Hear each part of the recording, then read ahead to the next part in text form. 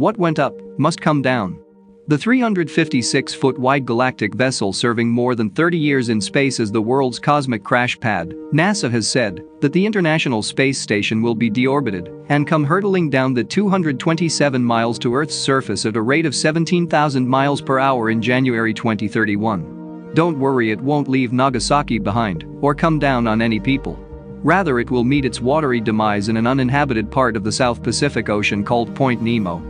Sometimes called the oceanic pole of inaccessibility or the South Pacific uninhabited area, the marine zone has for decades been used as a graveyard for old space equipment such as satellites and rocket debris.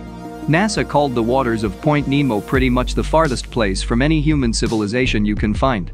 Many old satellites and other space debris have crashed there, including the Russian space station Mir in 2001. The International Space Station ISS, a joint venture which involved five space agencies, launched in 1998, has hosted astronauts from 19 countries in their scientific ventures and has orbited the Earth over 100,000 times. More than 3,000 research investigations have taken place in its microgravity laboratory. However, it is only approved to operate until 2024, and any extension must be agreed upon by all partners.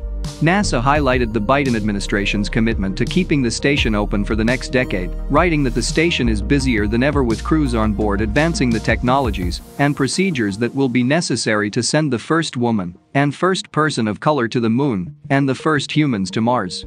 After three decades, the private sector will be taking over operations in future space travel and NASA will continue to support the transition. It also added that it would encourage and incentivize commercial companies that overtake space duties in 2031 to reach out to students and develop the next generation of space pioneers. Phil McAlister, the director of commercial space at NASA headquarters, also added in a statement, We look forward to sharing our lessons learned and operations experience with the private sector to help them develop safe, reliable, and cost-effective destinations in space.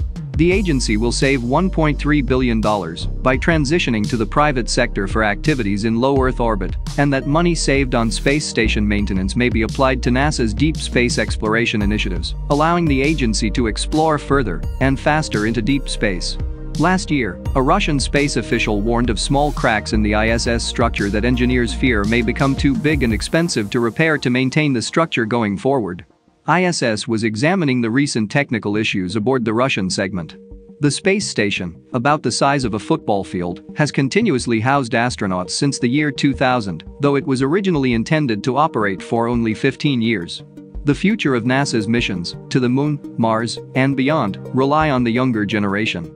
Today's youth are tomorrow's moon and Mars explorers.